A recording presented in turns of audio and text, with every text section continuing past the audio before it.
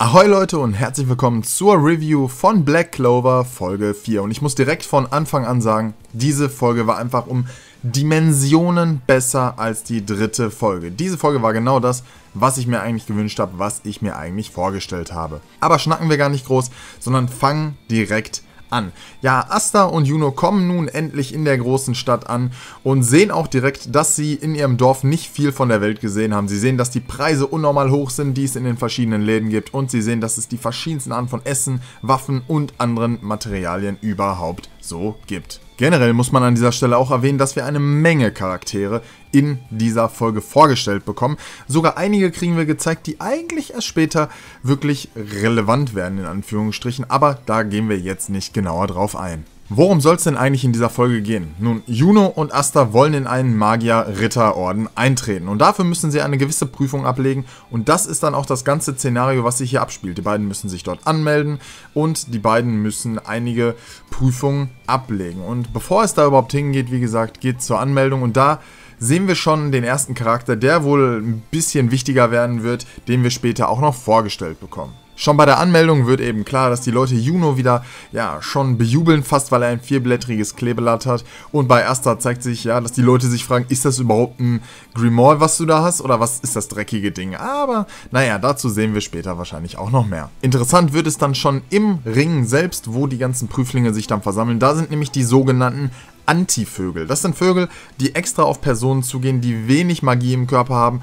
Und ja, wie sollte es auch anders sein, Leute, oder? Wie sollte es anders sein? Natürlich kommt ein ganzer Berg von diesen Vögeln auf Asta zu, wohingegen einfach bei Juno kein einziger dieser Vögel zu finden ist. Und behalte dabei auch mal ein bisschen im Blick, dass alle diese Vögel eigentlich gleich aussehen, bis auf einer. Ja, der wird vielleicht noch später, naja, wichtig will ich nicht unbedingt sagen, aber der wird uns vielleicht noch ein bisschen begleiten. Nichtsdestotrotz trifft Asta dann auf eine Person, ja, die er erst so gar nicht wirklich äh, ernst nehmen kann, ja, und diese Person zeigt sich dann natürlich später als Yummy. Wir kriegen ihn später noch vorgestellt und der zerquetscht dann schon fast Astas Kopf, weil Asta ihm einfach im Weg steht und ihn angerempelt hat und ihn noch wie so einen alten Mann betitelt. Und ja, am geilsten war auch einfach der Spruch, wo er sagt, ja, äh, wie bin ich hier hingekommen? Ich habe mich verlaufen, nachdem ich kacken war. Ja, da musste ich natürlich direkt lachen und habe mir gedacht, das Leute, das ist genau der Black Clover Humor, der mir so viel Spaß an dieser Serie im Manga macht. Und genau zur gleichen Zeit kriegen wir dann auch noch zwei andere Leute vorgestellt, nämlich Finral und Gordon. Ja, wir kriegen die schon so ein bisschen gezeigt und man kann sich schon auch anhand des Openings denken, dass die Charaktere uns wahrscheinlich ein bisschen länger in dieser Serie begleiten werden. Ja, wir sehen schon, Finral ist so ein richtiger Weiberaufreißer. Ich habe mir seine Haare irgendwie einen kleinen Ticken blonder vorgestellt im Anime, aber ist überhaupt nicht schlimm. Und Gordon, ja, der sieht schon ein bisschen creepy aus, muss man schon sagen. Und wir bekommen später noch gezeigt, wo die eigentlich genau hingehören. Auch stellt sich dann der Charakter mit dem Namen Säcke, ja, so wird er wirklich ausgesprochen, vor und die, sein Charakter ist wirklich schon von Anfang an kann man sich denken, dass das eigentlich so ein richtig schmieriger Typ ist. Vor allem seine Art, wie er immer am Ende noch so lacht, das ist wirklich so, boah, aber es passt einfach zu seinem Charakter, muss man an dieser Stelle auf jeden Fall sagen. Der macht sich natürlich am Anfang cool mit Asta, weil er schon irgendwie merkt, hey, der hat nicht so sonderlich viel drauf. Und dann geht es auch schon los, die Ordensanführer zeigen sich und wir kriegen wirklich alle Schritt für Schritt vorgestellt. Und der erste, den wir vorgestellt bekommen, ist Nosel. Ja, und Nosel ist, ja, seine Frisur spricht für sich, oder? Nur um nochmal, nur um schon mal einen kleinen Fakt zu sagen, ja, der wird auch nie irgendwie im Manga großartig gezeigt, sondern in einer Fanpost wurde das beantwortet. Seine Frisur, sein Haar, was er vorne hat, das lässt er sich jeden Morgen von einem seiner Leute machen. Denn wir kriegen es auch später noch in der Folge gesagt, Nosel gehört zur königlichen Familie. Dazu kommt noch, dass er der Anführer des Ordens ist mit dem Namen der Silberne Adler. Der nächste, den wir vorgestellt bekommen, ist Fuego Leon Vermilion oder Vermilion, wie auch immer man das jetzt aussprechen möchte. Und der ist natürlich auch ein Ordensanführer vom Crimson Lion, den wir später in den nächsten Arcs auch noch vorgestellt bekommen werden. Der gute Herr, den ihr hier seht, ja, der hat tatsächlich den Namen Jack the Ripper bekommen. Er ist der Anführer der grünen Gottesanbeterin. Das passt auch irgendwie zu ihm. Wir werden später auch noch mehr dazu erfahren. Zu seiner Fähigkeit. Die passt wirklich eins zu eins zum Namen seines Ordens. Und wir gehen direkt weiter und kriegen dann Charlotte Roselei vorgestellt. Und sie ist wirklich ein Charakter, eine Ordensanführerin vom von der blauen Rose, ja, so heißt ihr Orden. Sie ist ein Charakter, wo ich mir wirklich gedacht habe, dass sie im Anime jünger aussieht. Ich finde, sie wurde im Anime irgendwie recht alt aussehend gelassen, also ohne das jetzt irgendwie komisch zu meinen, ja. Sie sieht nämlich irgendwie im Manga meiner Meinung nach jünger aus. Manga-Leser von euch können mir da gerne mal was in die Kommentare schreiben, ja. Ich fand auf jeden Fall, dass da ein kleiner Unterschied besteht. Nichtsdestotrotz ist ihr Design natürlich super und sie ist auch ein sehr interessanter Charakter, der im Laufe der Story noch ein bisschen mehr Fokus bekommen wird. Generell ihr Charakter, ja, ist noch ganz lustig, aber dazu sehen wir wahrscheinlich in den nächsten Folgen mehr. Dann gibt es noch den sehr, sehr creepy aussehenden, bei dem ich wirklich bis heute nicht weiß, wie man den Namen richtig ausspricht. Ja, auf Japanisch heißt er Gerudoru. Ja, Gerudel, Gerudel. Das klingt echt komisch. Ja, der ist der Ordensanführer des äh, Lila Orcas. Im Anschluss kriegen wir noch die immer schlafende und sogar im Schlaf laufende Dorothy, gezeigt, die die Anführerin vom korallenfarbenen Pfau ist. Ja, so heißt es, glaube ich, übersetzt auf Deutsch. Ich habe das Ganze jetzt nur auf Englisch gesehen. Dann sehen wir noch den jüngsten der Ordensleiter. Das ist Lil Boamolti und der ist der Anführer des Azuren Rentiers. Ja, wie gesagt, der ist der jüngste, der ist gerade mal 19 Jahre alt, was wirklich verdammt jung ist. Aber von dem sehen wir auch erst wirklich sehr, sehr spät, wenn wir das überhaupt im Anime sehen, äh, in dieser Season, dann würde mich das schon wundern. Da sehen wir erst viel, viel später, was ihn eigentlich aus ausmacht. Aber auch ein sehr, sehr interessanter Charakter, wie ich finde. Und letzten Endes kriegen wir dann natürlich William Vengeance vorgestellt. Und der ist natürlich jetzt direkt so eine Art Mysterium, will ich schon fast sagen, mit seinem komischen Hut, die Kopfbedeckung, die er da aufhat. Er ist der Ordensanführer des goldenen oder der goldenen Morgendämmerung oder Abenddämmerung, ich weiß es gar nicht, wie es genau auf Deutsch heißt.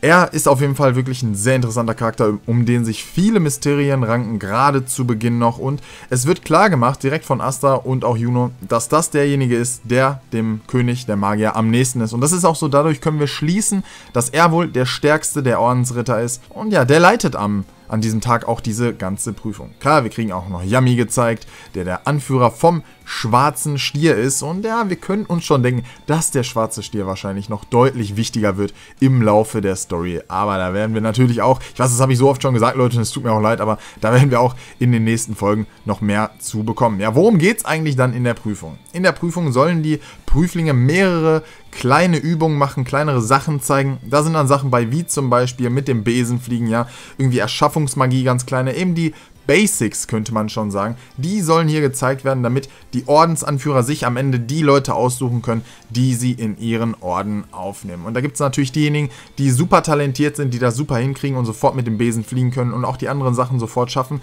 wie zum Beispiel Juno. Und dann gibt es da natürlich die Leute wie Asta, die einfach nichts auf die Reihe kriegen, die wirklich nichts, null. Asta kriegt nichts hin, aber das überrascht uns natürlich nicht, Leute. Wir haben das die ganze Zeit schon gewusst, weil Asta ja einfach absolut keine Magie in seinem Körper hat. Ja, und so gibt es dann auch wirklich wenig Hoffnung für Asta. Aber Asta ist natürlich derjenige, der nicht wirklich aufgeben will. Und in der Zwischenzeit sehen wir dann noch eine sehr, sehr interessante Szene, wie ich finde. Wir sehen nämlich, wie einer der Ordensanführer, nämlich Nosel Silver, wie, oder Silver, Entschuldigung, wie er runtergeht zu einem Mädchen, die ihn später auch mit Bruder anredet. Daher können wir natürlich schon erahnen, dass es die Schwester von Nosel ist. Und ja, wie wir auch schon im Opening sehen, wird sie wichtiger. Und ich, ja, das soll jetzt kein großer Spoiler sein. Ihr Name ist Noelle und sie, ja, sie ist da auch wohl offensichtlich in das Ganze involviert, nämlich in die königliche Familie, weil Nosel ja eben auch aus der königlichen Familie kommt. Und wir sehen, dass er nicht gerade gut auf seine Schwester zu sprechen ist. Auch hierzu, Leute, wieder später mehr. Wir haben hier so viel angeteased bekommen in dieser Folge, das muss ich auch nochmal sagen. Ja, das tut mir leid, dass ich das immer so sagen muss, aber da ist so viel, was wir einfach immer wieder angeteased bekommen haben. Ja, was soll's an dieser Stelle? Auf jeden Fall lustig, dass es hier schon rangebracht wurde und ich muss sagen, dass die Synchronsprecherin von Noel wirklich on top ist. Sie hat das Ganze wirklich gut eingefangen, diese Unsicherheit von Noel. Das wird auf jeden Fall noch richtig gut. Da bin ich wirklich froh, dass sie eine gute Sprecherin bekommen hat. Wie gesagt, geht die Prüfung dann noch weiter mit den verschiedenen Übungen und ganz am Ende kommt dann Fuego Leon und sagt selbst in voller Inbrunst, ja, ihr müsst uns jetzt noch was zeigen. Ihr müsst uns zeigen, dass ihr auch im Kampf erprobt seid, denn das ist das, was wir Magier machen. Wir beschützen das Volk, wir müssen kämpfen, wir müssen in der Lage sein zu kämpfen.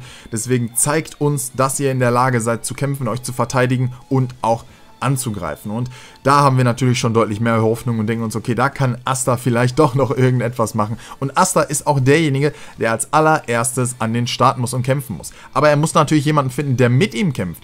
Und da es darum geht, dass die Magier ihre Fähigkeiten zeigen sollen in diesen Kämpfen, will natürlich keiner mit Asta kämpfen. Außer einer, und das ist Zecke, weil er sich denkt, okay, Asta ist so schwach, da zeige ich mal ordentlich, was ich kann. Ja, meine Fähigkeit kann ich da präsentieren in ihrer vollen Schönheit und Asta kann da eh nichts gegen machen. Ja, aber wie wir sehen, verzockt er sich da. Er macht darauf auch noch Asta ein bisschen runter, indem er ihm sagt, ja, dass jemand aus dem Pöbel wie er, dass er an diesem Ort doch überhaupt nicht sein sollte und dass er einfach das Ganze über sich jetzt ergehen lassen soll. Und ja, das zeigt eigentlich seinen wahren Charakter auch. Dann sehen wir natürlich, was unvermeidbar war. Asta zieht sein Schwert und haut ihn einfach One-Hit, Leute. Er haut ihn One-Hit einfach weg. Mit einem Schlag natürlich, weil sein Schwert Anti-Magie ist und er damit einfach den kompletten Schutzzauber aufheben kann, haut er ihn mit einem Schlag nieder. Und Leute, das ist auch der Cliffhanger am Ende dieser Folge. Um das nur nochmal zu sagen, ich glaube es, es kann sein, dass ich mich vertue, korrigiert mich gerne in den Kommentaren. Ich habe den Manga zwar hier drei Meter entfernt von mir liegen, im Regal bzw. stehen, aber ich habe jetzt nicht reingeguckt. Ich glaube aber, dass hier wieder ein Manga-Kapitel in zwei Folgen aufgeteilt wird. Ist aber gar nicht schlimm, weil das irgendwie trotzdem alles hier mit dem Pacing klappt. Alles, wie gesagt, viel besser als in Folge 3. Tja, und das war's, wie gesagt, mit dieser Folge. Die Aussicht, ich habe mir den, die Preview schon angeguckt für die nächste Folge. Es wird keine Filler-Folge, Gott sei Dank, das wäre es jetzt auch gewesen. Generell aber war diese Folge wirklich deutlich besser, hundertmal besser als die letzte Folge. Meiner Meinung nach bis jetzt die beste Folge, die wir hatten. Und es wurden auch kleine Andeutungen gemacht, wo wir sehen, dass die Macher, die Produzenten selbst gecheckt haben, was sie da eigentlich fabrizieren. Nämlich im Sinne von Astas Rumgeschrei. Das wurde zweimal angesprochen hier und einmal sagt Asta das Ganze sogar selbst, dass er sagt, ey, ich habe die ganze Zeit eigentlich nichts anderes gemacht, außer blöd rumzuschreien. Es wird Zeit, dass ich jetzt mal hier ernst mache und das Ganze mal ernst nehme. Und Asta, da sprichst du uns tatsächlich aus der Seele. Aber ich muss an dieser Stelle auch sagen, dass ich finde, dass das Geschrei von Asta mir gar nicht mehr so sehr auf die Nerven geht wie vorher. Mag daran liegen, dass wir jetzt schon einen Monat Black Clover verfolgen und dass man sich so langsam daran gewöhnt hat. Kann das sein? Bei mir ist es zumindest so. Ich finde auf jeden Fall, es ist nicht mehr so nervig. Aber Leute, die Aussicht, die wir hier bekommen haben, klar, wie gesagt, viele Charaktere vorgestellt bekommen, bei denen wir noch viel mehr erfahren werden, hoffe ich zumindest in dieser Season. Und das wird wirklich Spaß machen. Das ist eine schöne Aussicht. Vor allem die nächsten Folgen, ja, da werden wir auch noch einige neue Charaktere gezeigt bekommen. Das ist wirklich jetzt aber auch so die Anfangsphase, muss man sagen. Also schaltet da nicht irgendwie ab oder so. Es ist einfach so, dass wir viele Charaktere gezeigt bekommen, viele uns dann auch später in diesem Abenteuer begleiten. Und das wird wirklich noch eine lange Reise bei Black Clover. Wie gesagt, der Manga ist ja auch noch ongoing. Ihr könnt mir aber gerne jetzt eure Meinung zur Folge in den Kommentaren dalassen und falls euch das Video gefallen hat, auch gerne einen Daumen nach oben dalassen.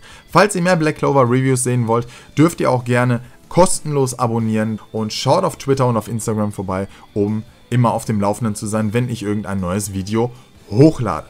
Tja Leute, wir sehen uns dann hoffentlich nächste Woche bei der nächsten Folge von Black Clover wieder und ich wünsche euch wie immer noch einen wunderschönen Tag und sage ciao und tschüss.